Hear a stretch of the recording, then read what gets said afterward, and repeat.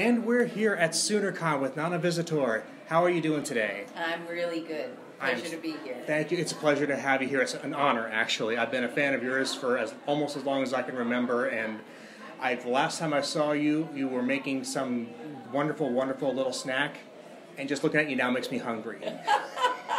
we have history. We were on a ship together. We were, and yeah. that's that's it does my heart good. But I, I'm bowled over by the passion you have for cooking, not just for yourself, but for large groups of people. And you covered that really well in your new book here. I flipped through it. You've gone into a lot of detail about the joy that comes from creating meals for your friends, your family, uh, actually the preparation of the meals, and uh, I strongly recommend anybody take a look at this for sure. Thank you so much. Yeah, I think that the preparation and your enjoyment when you're doing the work, that the work has to be joyful and intent on on what you're doing. It isn't to impress. It isn't to you know one up anybody. It's to feed people and to gather people, and it's just it's such an important aspect of life to me. And you really get into that when you talk about the, the almost meditative quality of picking out the ingredients, finding the right choices, and the fact that you don't need great ingredients, you just need to have good preparation and thoughtful, uh, mindful choices in how to prepare it. That's right. Yeah, uh, fresh vegetables, of course, it's it's the optimum thing.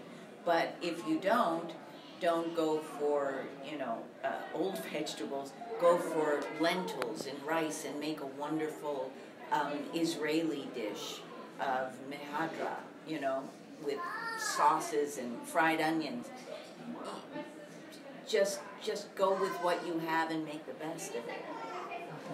You also have a drink menu in there as well. You're very good at pairing a great dish with a choice drink to kind of increase the social lubricant, as it were, and get people in the, the mood for just a good conversation. Uh, you can always have wine, but it's it feels special. I always feel special when I go somewhere and they they have a cocktail for the evening, something that I wouldn't necessarily choose, but I find delicious. Um, that's that's a wonderful element to to give people a treat and, a, and an experience of something other than they usually choose for themselves. Mm-hmm and it's it's just such a shame because it seems like a lot of people, to me and, and my family, this what you talk about here is something very basic to us. The idea of making a good meal, getting people together, having a good time, and yet there's so many people I talk to in the streets that are just like oh, we don't we never do that. We eat out, we get frozen foods, and there's a place for that, but that, that that's not your everyday life. I don't I don't quite get where that comes from. No, I know things have sped up so much, and children have you know, practices that you have to get to.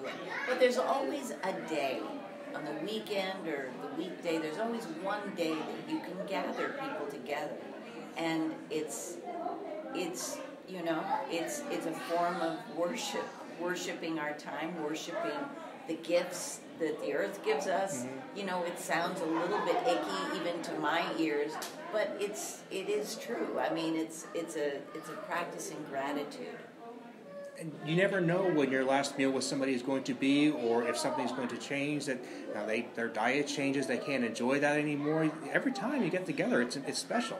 It's it's worth a celebration. like for example, uh, are you having anything special in in town while you're here? Anything you're looking for that you can't get anywhere else? Well, everyone tells me I need to go for a steak dinner, so I'm probably going to do that tonight. Fantastic. But, yeah but that people say, oh, if you go to Oklahoma City, have a steak dinner. Well, what would you suggest? Um, I would go for barbecue myself. Barbecue. Mm-hmm. All right. That's good to know. And and there, there's a couple places you could pick, and everybody's going to give you a different opinion as to what's the best. Yes. So I'm not going to try. Yeah. But I mean, your your, your slow roasted porks and your your chickens and stuff that you cover in here, you'll find that in places around here as well. That sounds great. I did have biscuits this morning because that's not something you get everywhere in LA. No. And uh, a good biscuit is really worthwhile. Definitely see that for sure. So, are you working on another book, or would you even consider taking your little cooking preparation show that I saw a couple months ago and doing something else with that? I don't think so. I people have asked me to do that, um, and there's something in me that rebels against. It's almost a. It's it's a. It almost gets fetishistic the way people are about cooking, and it's just all a little too precious, and it gets to be about um, it's almost competitive, Mm-hmm. and that makes me want to step back from it. Sure. Because to me, it's always about the gift to people. It's it's not about you know. It, it gets a little creepy. You know what I mean? I do know what you mean because I, this has kind of died down a little bit. It has died down a little. The chew disgusted me. I felt the over overdone audience reactions. It was like, come on, stop. I prefer Julia Child, where she occasionally dropped a chicken or something, but she was showing us what to do so we could enjoy it ourselves. It just gets a little too precious. It, there was this phase that I called cupcake worship, Oh yes, and, and it's like I, I like cake, I yes, do, yes. but when you're so concerned about it looking cute and, and being a little critter, and you don't actually want to eat it because like that that's what's what's the point in the first place? I'm sorry. you are going to lose the taste, Yes. and it's the taste that matters. Mm-hmm. I, I, fondant versus frosting. What are your thoughts?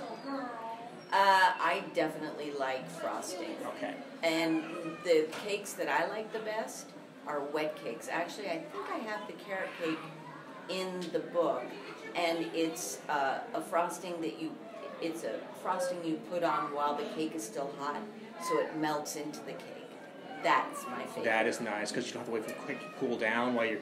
No, it's and it's delicious. It makes a very moist, wet, dense cake.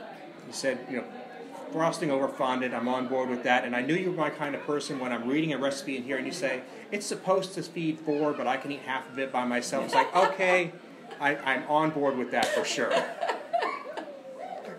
I, this the great thing about this book is so personal. You just have a very conversational tone to the whole thing. It's basically a blog with better set basically. It really is. Yeah, I used to have a blog um, called Un Petit Morceau um, because I had a, a catering business when I lived in New Mexico, and I cooked for large numbers of people. But it was this same way.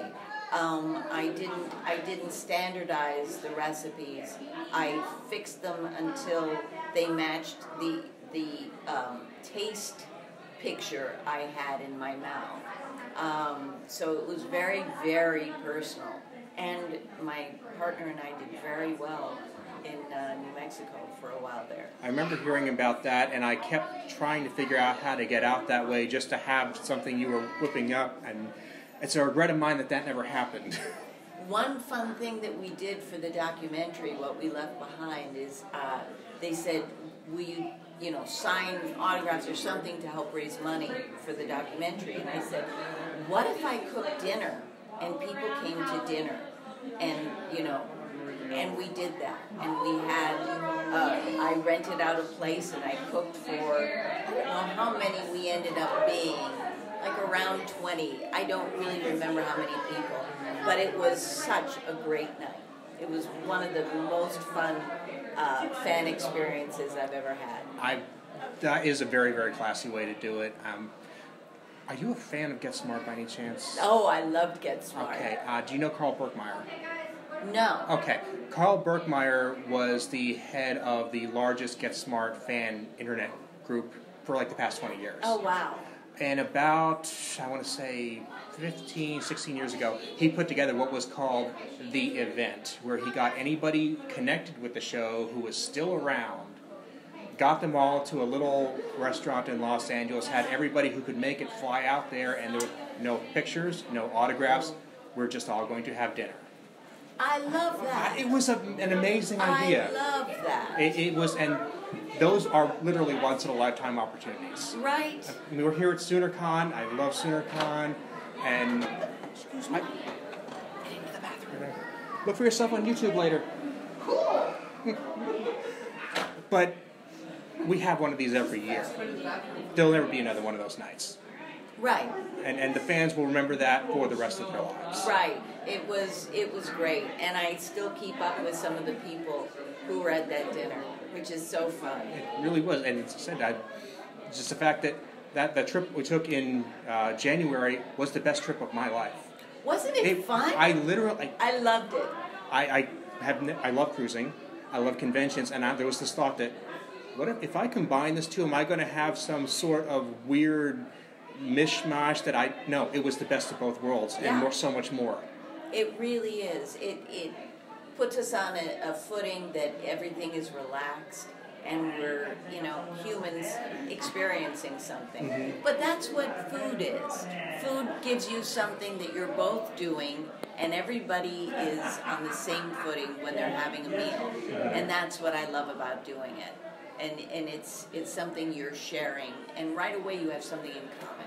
Absolutely, and yet you're each bringing your own palace to the table. So Right. I could take this big old swig of blue cheese and say, "This is the best thing I've ever tasted," and the next person at the table will be like, "Why are you serving me a plate full of feet?" I mean, it, it, Right. it and you get to talk about that and share your That's experiences. right. That's right. So this book here that I've been talking about, if somebody wants to pick this up for themselves, where can they do it? Well, you know what? Right now, at the conventions and on board the ship, the cruise, the Star Trek cruise, it's the only places. I've tried to figure out how to do it on the internet, and it's just more than my my you know 20th century brain can handle.